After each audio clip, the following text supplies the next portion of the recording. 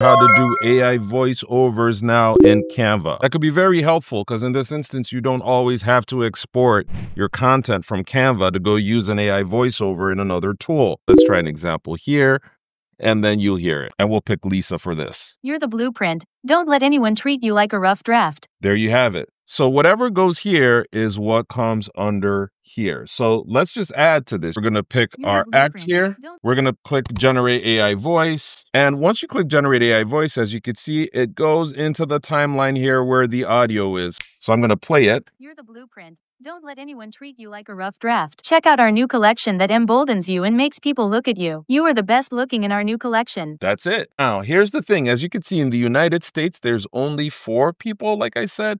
But what I noticed is let's go to the United Kingdom right here. What happens? The characters change. So if we we're going to go to Henry now, You're the blueprint. Don't let anyone treat you like a rough draft. it all changes. If we go to Netherlands here, let's go to Lottie. You're the blueprint. Don't let anyone treat you like a rough draft. Interesting. Go to Nick.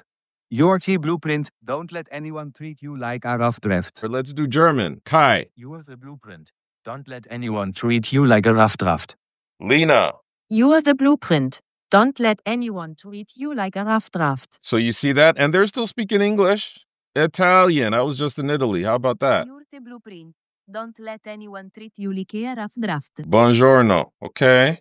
You're the blueprint.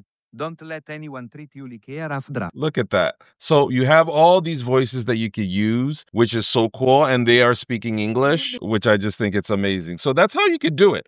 Simply logging in, going in to AI voice, typing in your text, choosing your voice, choosing your personality, generating your AI voice, and then you're all good to go. I hope this was helpful. If it is, like the video, subscribe to our channel so you can continue to see helpful content. That just makes your life easier. Till next time, take care.